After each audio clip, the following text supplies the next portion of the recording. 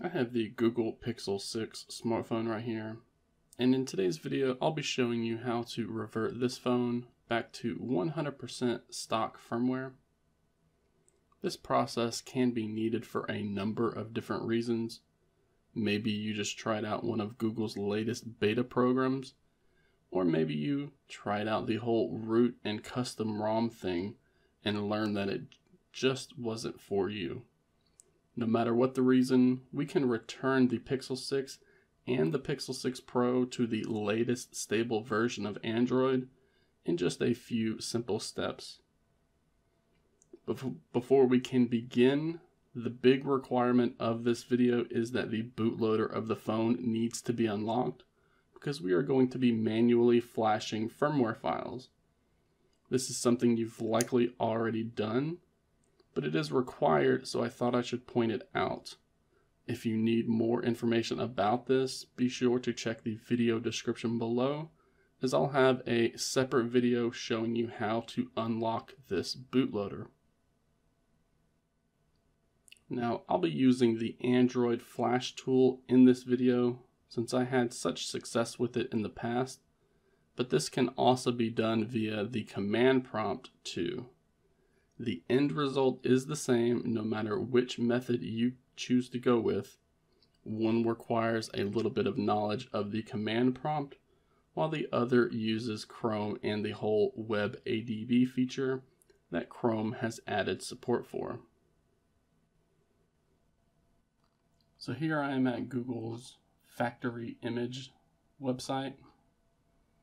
And I'm just going to scroll down until I see my device which is the Pixel 6. You can also scroll a little further to find the Pixel 6 Pro.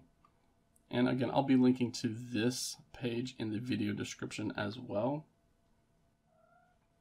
So you want to find your phone in the list, and then we're going to find the firmware that we want to flash. You can see we're going to revert back to Android 12, and we're going to go through this list and grab the latest version. You can see there are notes telling us which month these firmwares were released from November to January to February. So we're going to grab the latest February firmware for the Google Pixel 6 and we're going to be clicking the flash link for this firmware. So when we click the flash link right here, we're going to be taken to the Android Flash tool, which tells us that we can install an Android build in three easy steps. We just need to connect the device via a USB cable, select which software we want to install, and then install it to our device. So we're going to click this blue Get Started link right here. It's going to instruct you to download the Android USB driver, but you may already have this installed like I do. So we're just going to click on already installed. You may also have Chrome blocking pop-ups here. So if you get this message, be sure to check Chrome to see if you have any pop-ups blocked. And if you did, we're just going to click the, we're going to allow those pop-ups and click the show dialog again so that we get this pop up here. We're going to click the allow ADB access. And that's just going to take us to the selected device screen. So we're going to go through this. If you have not already enabled developer mode, go ahead and do that now. I've done a previous tutorial showing you how to do that. So again, you can check the video description below to find the exact steps on how to do that. And then we're going to enable USB debugging mode from within the developer options menu. With that done, we can then plug in our Google Pixel 6 into the PC with the USB cable. And once we have connected our phone to the PC with that USB cable, we're going to click the Add Device button right here. That should bring up a pop-up dialog box right here listing our Google Pixel 6 or Pixel 6 Pro. We're going to click that and then click connect. And after we have selected our phone, we should see that device in the selected device section right here. And we should get a connected message. If you see any error messages, something like telling you to kill the ADB server, then you likely already have ADB running in the background. So you're going to need to run ADB kill server in a command prompt. Not everyone is going to need this. You're only going to need to do that if you have the ADB kill server error message listed right here. Since this selected device section says connected, we can continue from here. Now if you remember back, we selected the February build of the Android 12 firmware for the Google Pixel 6. So we don't have to change anything here. And since we are returning this device back to stock Android, we're going to select the wipe device option. Now you can select the lock bootloader option as well if you want. It's generally not something I recommend unless you are 100% sure you want the bootloader locked. I will continue to install various mods on this device, so I want to keep the bootloader unlocked, but that may be different for you. We have a number of advanced options here that we are going to skip so that we can just click the install build button right there. The screen is just going to ask us to confirm everything that we have set up already. We have our selected device. Make sure that this is correct. We have our selected build. Again, make sure this is correct. We can refer back to the Android factory image screen if we need to.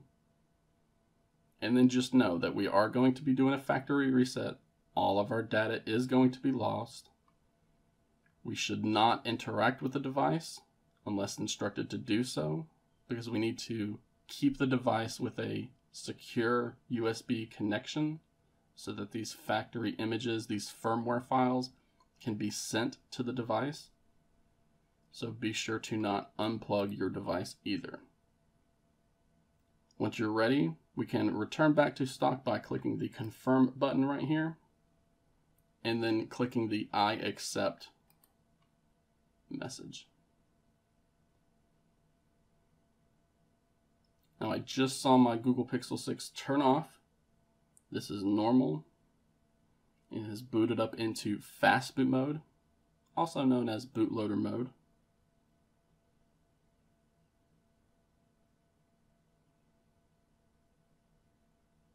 Even though nothing's happening right now, this is still in progress. We're just going to wait. We're going to be patient and we're going to let the Android Flash tool revert our phone back to stock firmware.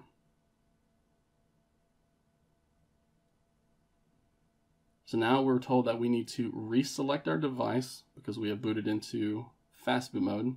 So we're going to click reselect device. We see this pop-up box appear. We're going to select the Pixel 6 and then click connect again. Once that's done, you should see Chrome start to download that firmware file. It is a fairly large file, so it could take some time. We're just going to be patient and again, let the Android Flash tool do all this work for us.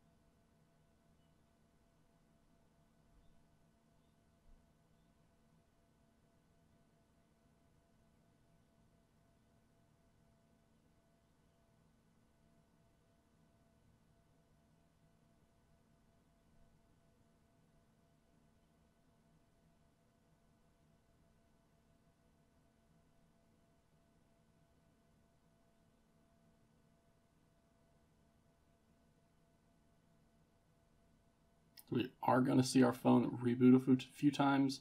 We can see it tell us that the phone is rebooting right here.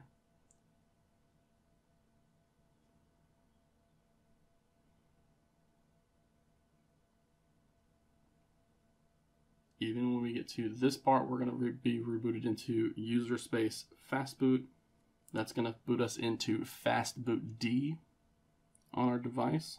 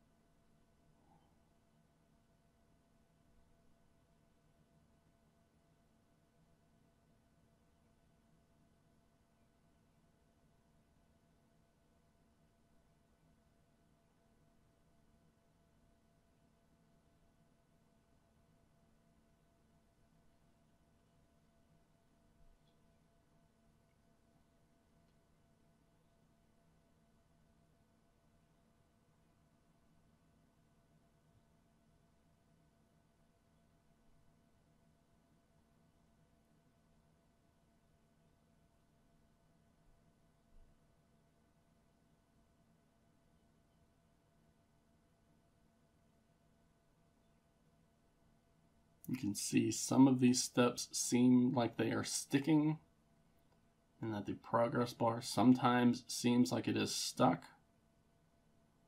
We're just going to wait patiently. After a few minutes of that, you should see it move on to different parts of the script like it's doing. Remember, do not unplug the device and do not interact with the device, meaning do not select any menu options on the phone unless instructed to do so by this page.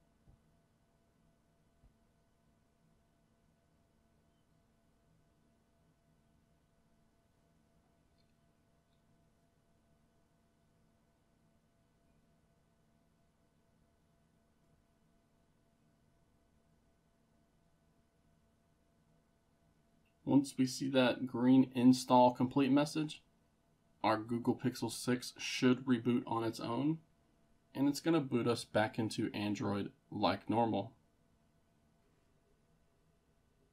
once you see the phone reboot, you can then unplug that USB cable and watch the phone go through the normal boot sequence. This first boot back into Android is going to take a little bit longer than normal, since again we just did that factory data reset. So it's going to take us to the Android activation screen.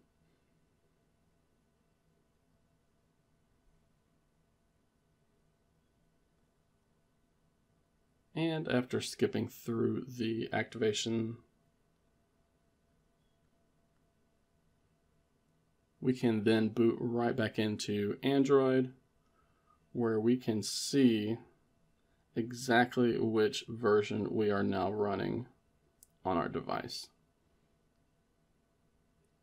So I have just returned this Google Pixel 6 from the Android 13 beta back to the stable build of Android 12. But again, this will return you back to stock no matter what is on your device, whether it is a custom ROM, whether it is a custom kernel, even if you have just installed Magisk, you can revert back to complete 100% stock Android by following the tutorial we just did today.